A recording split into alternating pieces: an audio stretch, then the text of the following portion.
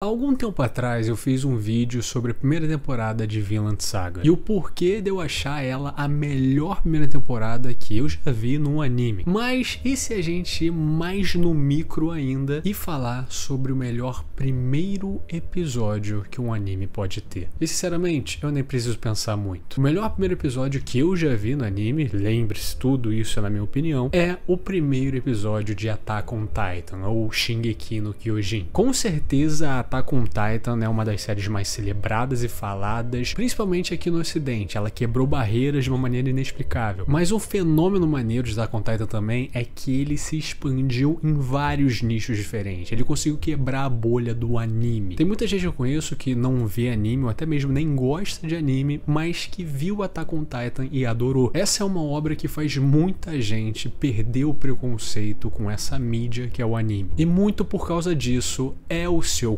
começo, sua primeira temporada e, sobretudo, seu primeiro episódio. O primeiro episódio de Attack on Titan já começa muito bom pelo seu título, Para Você há dois mil anos no futuro, A Queda de Shiganshima, parte 1. E eu já vou explicar o porquê esse nome é genial. Porém, o episódio começa com o que parece ser um gigante bizarro, que depois a gente vai entender que é um titã, que tá pegando ali em cima do topo da muralha, enquanto a narração fala a seguinte frase: Naquele dia, a humanidade se lembrou do terror de estar nas mãos deles, da humilhação de estar presa em uma gaiola. Depois disso, a cena já corta para um grupo do que parece ser alguns soldados, que depois a gente vai entender que é a tropa de exploração, todos eles a cavalo e tal, enquanto eles aparentemente estão encurralando um desses titãs, sendo que esse é mais normal do que aquele que apareceu antes. E eles usam estratégia, equipamentos fodas e o caralho. E a gente vê com isso que a humanidade também reage. Eles não são só, oh meu Deus, gigantes e tal. E nesse momento que a gente vê a abertura, que inclusive para mim, a abertura da primeira temporada é a melhor que tem. E com essas duas cenas, tanto do Gigante da Muralha quanto do grupo matando o Titã lá, isso já te faz ficar com interesse fudido para continuar a ver a série. Nesse momento a gente viu que parece ser visões e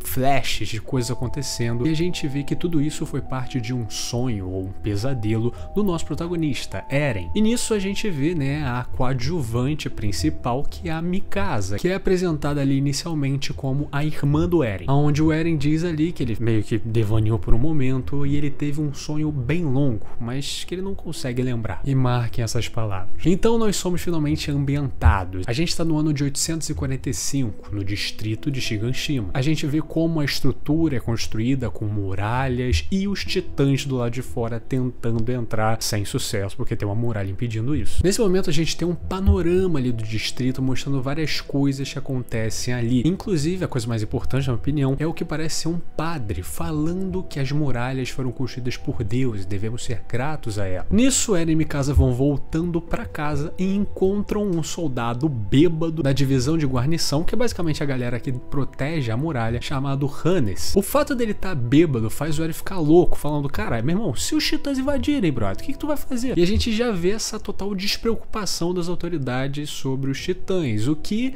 coroa com um deles dizendo que, pô, nada acontece aqui há mais de 100 anos, temos 100 anos de paz dentro dessas muralhas. Não vai ser agora que vai acontecer alguma coisa do tipo. E o Eren fala, meu irmão, e se acontecer? Vocês vão estar despreparados e tal. E o Hannes fala, sim, a gente tá despreparado. Se eles chegarem, meu irmão, fudeu. E o Eren fica, meu irmão, você tá louco? E então a gente vê basicamente o alinhamento do Eren nessa parada. Ele é um cara que é contra esse sentimento de ficar dentro das muralhas. O mundo parece ser grande. E eles estão legais com a ideia de ficar na muralha esperando pra ela quebrar alguma hora. Pra ele não faz sentido querer viver assim, como gato, que já dá uma relacionada com aquela frase da narração no primeiro minuto do episódio. Nesse momento, os sinos tocam e o Eren diz que os heróis voltaram, aonde a gente vê a procissão daquela galera que apareceu também nos primeiros minutos do episódio, aonde eles estão, meu irmão, todos fodidos, chegando exaustos, mortos, machucados. E o Eren parecia idolatrar essa galera, que a gente já viu com a linha Mel dele, né? Ele quer sair pras muralhas e aparentemente é essa galera que faz isso. E nesse momento que Attack on Titan começa a mostrar que ele não é bem um shonen como ele é dito ser, né? E sim, bastante um seinen. Onde uma mulher mais velha vai ali no meio da galera e fala, ah, cadê meu filho? Meu filho veio com vocês, cadê ele? E o que parece o líder daquela operação ali fala, ah, tu é mãe dele? Então, traz ele aí. E a gente vê um dos soldados trazendo um braço braço. E ela ficando louca, né? Meu filho morreu, só sobrou o braço. Então, uma tentativa de se conformar com a morte dele, ela pergunta se a morte dele foi para o bem do mundo, para o objetivo dessa tropa e tal. E o líder não aguenta e fala que não. Todas essas missões são em vão, são inúteis. Eles não conseguem achar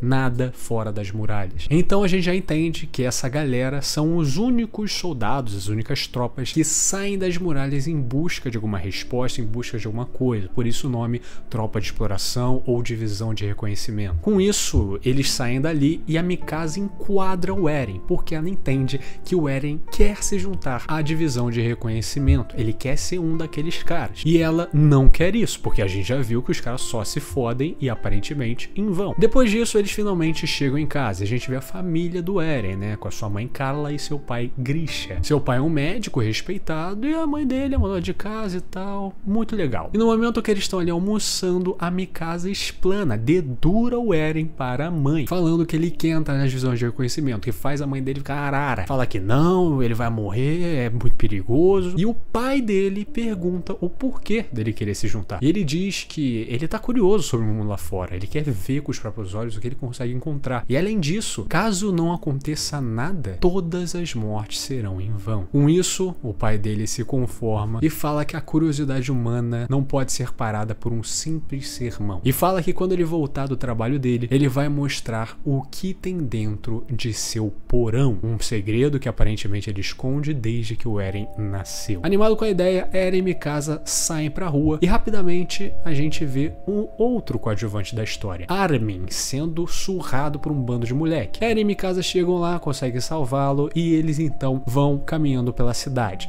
aonde tem um dos papos mais legais desse primeiro episódio. O Eren tá puto, falando que quer sair, quer ver o mundo e o caralho. E o Armin, cara, ele manda real atrás de real. Ele fala que a galera não gosta de falar sobre sair da muralha e tudo mais, porque o governo instruiu isso meio como um tabu. Ele fala ali que as pessoas saindo e tal pode atrair os titãs para dentro. Por isso que eles não gostam da divisão de reconhecimento e da ideia de sair da muralha, porque isso parece que é perigoso. E aqui o Armin fala um negócio bem interessante. Independentemente de 100 anos de paz existirem, por que eles acham que as muralhas nunca vão quebrar, nunca vão ruir? E se for hoje? E falando isso, uma explosão acontece fora da muralha, aonde faz uma aglomeração ali se concentrar e a gente vê a cena do primeiro minuto do primeiro episódio. Aquele titã bizarro, gigantesco, que parece que tá em carne viva, aparecendo, superando a altura de 50 metros da muralha. E agora a gente vê o que ele queria fazer. Ele ergue a perna dele, chuta a muralha e abre um rombo, fazendo os titãs entrarem. E é nesse momento que você tem certeza que você está vendo um seinen. Porque, meu irmão, é a realidade dos fatos. Pessoas morrendo pra lá e pra cá, escombros e tudo mais. E com isso, Eren e Mikasa saem correndo pra casa deles para ver como tá a mãe dele, né? E quando eles chegam lá, a mãe dele tá nos escombros da casa. Então eles tentam tirá-la, não conseguem, veem que os titãs vão chegar e a mãe implora para que eles fujam, vão embora daqui, vivam. E nesse momento a gente vê aquele Hannes chegando. Ele chega ali, fala para ela ficar tranquila, ele vai matar esse titã, vai voltar, vai salvar todo mundo, pode ficar tranquilo. E no momento que ele vai matar o titã que tá ameaçando essa galera diretamente, ele se caga na calça, porque a gente tá vendo um dos titãs mais odiados e também mais assustadores desse anime. Vendo que ele não pode com esse bicho, ele volta, salva Mikasa e o Eren e deixa a mãe. Com a mãe vendo seus filhos seguros, a Titã pega ela e a gente vê de maneira bem gráfica ela sendo comida por essa titã e por isso que ela é tão odiada. E no momento que o Eren vê a vida dele virar de cabeça para baixo, a gente ouve de novo a frase falada nos primeiros minutos do episódio. Naquele dia, a humanidade se lembrou do terror de estar nas mãos deles, da humilhação de estar preso em uma gaiola. Inicialmente, essa frase é impactante, mas que não tem muito sentido pra gente. Mas agora que a gente entendeu esse universo, esse mundo, essa frase tem muito sentido. Eu acho que não existe um começo tão instintivo instigante quanto o primeiro episódio de Attack on Titan. Depois de você ver isso, você fica louco querendo saber por que aquele bicho enorme fez isso. Ele é claramente diferente dos outros titãs. Será que tem mais outros como ele? Na verdade, o que são esses titãs? Como eles são feitos? Como eles são criados? O que, que tem no porão do pai do Eren? Se tem algo no mundo exterior, algo além das muralhas. E o fato do episódio ser Queda de Shiganshima parte 1 implica que o segundo episódio diretamente vai acompanhar esses eventos, a parte 2, o que faz a gente ficar louco, querendo clicar, quero, quero ver. Por isso eu acho que esse episódio do título até tudo que envolve ele uma construção perfeita. É muito difícil uma pessoa que viu o primeiro episódio de Attack on Titan não querer ver a série inteira e descobrir todos esses mistérios. E ele introduz essa curiosidade, esses mistérios, de uma maneira tão não forçada que você não fala, ah, vou ver essa porra só pra ver o mistério e vou parar. Não, não, você fica envolvido, você quer ver o que vai acontecer. Porém, esse primeiro episódio tem mais uma paradinha que deixa ele ainda mais genial. Mas agora, para explicar isso, eu vou entrar no campo dos spoilers e do fim do anime da obra como um todo. Então, se você nunca viu Attack on Titan, que eu acho difícil, mas se pelo menos você nunca viu o final, quer ver, não sabe, blá blá, aqui embaixo na duração tem aí a parte que eu falo de spoilers, então é só você pular essa parte. Então vamos lá. Posteriormente, a gente sabe que Eren não é só o titã de ataque, mas também o titã fundador. O titã mais poderoso de todos e o caralho, tem uma puta profecia em volta dele, blá blá. Sendo que a parada do título, né? Para você, dois mil anos no futuro. O que, que isso quer dizer? A gente entende que o Eren, no final da obra, ele tem um poder do paradoxo temporal, basicamente. A gente vê que o Eren do futuro, o Eren com 20 anos de idade, ele conseguiu voltar no tempo e influenciar pessoas para que certos eventos acontecessem da forma que teriam que acontecer. E isso se dá pelo poder do fundador e a ligação que ele tem com a primeira titã, a Ymir. E aquela visão que ele teve no começo do episódio era a mensagem da Ymir que ela enviou para ele dois mil anos no futuro. Aquilo não era um simples sonho ou pesadelo, aquilo era uma visão. Tanto que no meio desse, entre aspas, sonho, a gente vê a cena da mãe do Eren morrendo. E ainda no episódio final de Attack on Titan, a gente vê que o Eren que influenciou aquela titã que matou a mãe dele a realmente matá-la. Porque ele sabia que o Eren garoto só poderia ser do jeito que é e levar o mundo do jeito que foi se ele visse a mãe dele sendo morta por uma titã e começar o ódio dele pelos titãs e tudo o que decorre depois disso. Então, cara, esse primeiro episódio ganha uma substância a mais com todos esses plot twists também. Não tem jeito, para mim, Attack on Titan tem o melhor primeiro episódio de todos por vários motivos. Não só porque é um episódio muito bom, tecnicamente falando, mas ele é tão cativante para quem vê, tão interessante, e ele é feito de uma maneira muito inteligente. Porque ele já começa com ação, mas o início e o meio dele são mornos, meio que ambientando a situação, mostrando como as coisas são, para no final ser essa porrada na cabeça. E isso é proposital, principalmente para você esquecer o começo do episódio, que é o Eren tendo aquelas visões. O que faz com que você, quando vê os episódios e conhece mais a história, meio que volte nesse primeiro episódio e fale: caralho, que doideira. Isso acontece várias vezes nessa obra, vários foreshadows, vários plot twists. E eu gosto muito desse primeiro episódio porque, para pessoas que não gostam de anime ou não veem anime, quando elas veem esse episódio específico de Attack on Titan, muitas das pessoas olham e falam: caralho, eu achei que anime não era assim. Porque normalmente, ainda mais aqui no Brasil, a pessoa vai achar que anime é Naruto, é Dragon Ball e tal. Que superficialmente são obras simplesinhas para criança. Sendo que quando a pessoa vê esse primeiro episódio, meu amigo, ela fica impactada. Enfim, eu amo esse primeiro episódio e eu acho que é por causa dele e por causa de várias outras coisas que se repetem no anime, escolhas geniais, tanto de título como a forma de narrativa, que fazem eu gostar muito mais